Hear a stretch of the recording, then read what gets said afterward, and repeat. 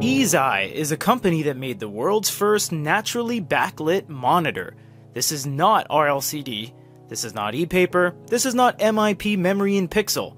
No, this is LED, but allows for natural light to flow through the back of the panel, so you don't even need to power on the individual pixels in order to see the display. We touched on this unit a while back as it was considered Prototype 2 back in December. This one is Prototype 5 featuring carbon fiber, magnetic snap panel, and a dual coating for higher reflectivity. Let's check it out.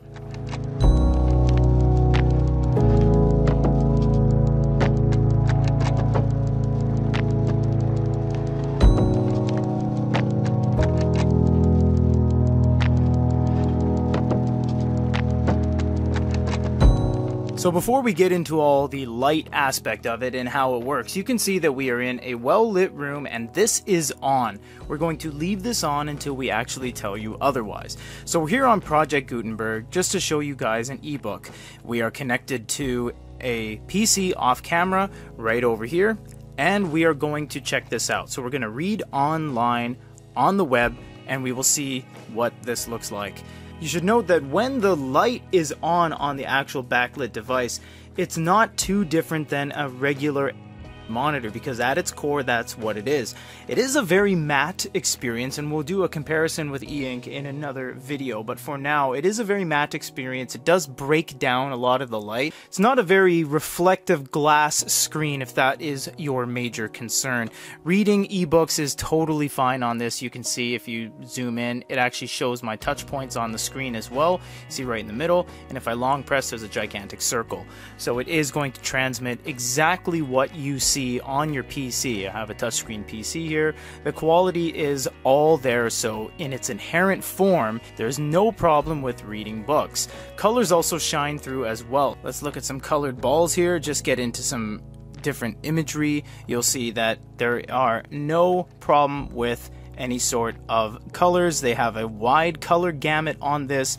This is much easier on the eyes than a traditional LCD screen with a piano finished glass front usually when you get those other LCD monitors that don't do anything to have any coatings or anything on the actual panel itself, it ends up being a little bit of a strain on your eye and it feels very sharp. Finally, we will get into a video here just to show you there's no problem with playback.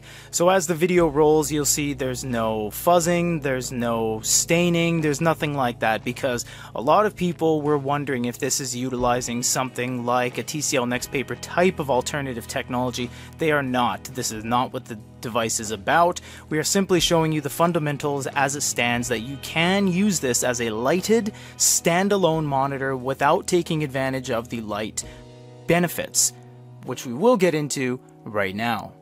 So the first thing we're going to do is we're going to leave the studio lights on, but turn off the monitor light. We will leave the monitor on, however. Believe it or not, the monitor actually is still on. So you might be asking, well, how do we see it? We have a light here that I'm going to shine on it. You will see that it does show up a little bit, but that's not how it works. This is just the reflection portion of it. So not only is it reflective to some degree on the front, it utilizes light from the back. So what you have to do first is tilt back this panel.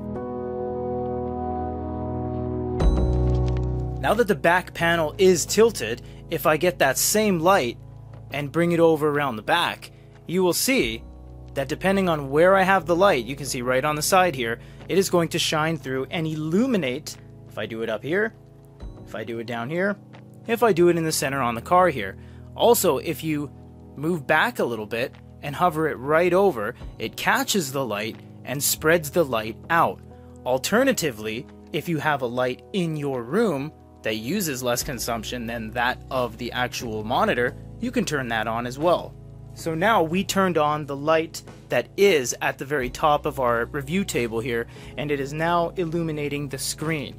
This does not illuminate nearly as much as the actual built-in light, but this way you don't need to use any additional power.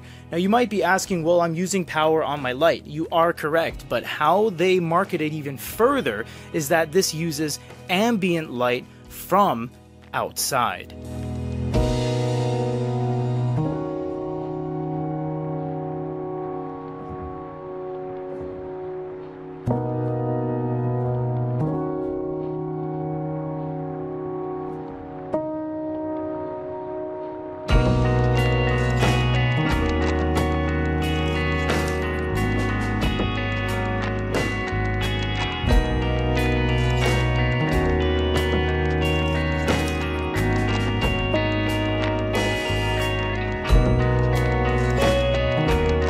In the end, how does this play out for all you guys?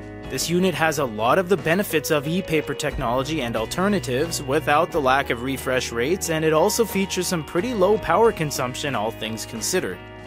It's best of a lot of worlds when you want to use ambient light, alternative light sources, or the light from the monitor itself.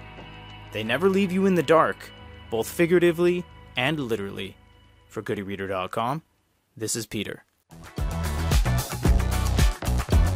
Thank you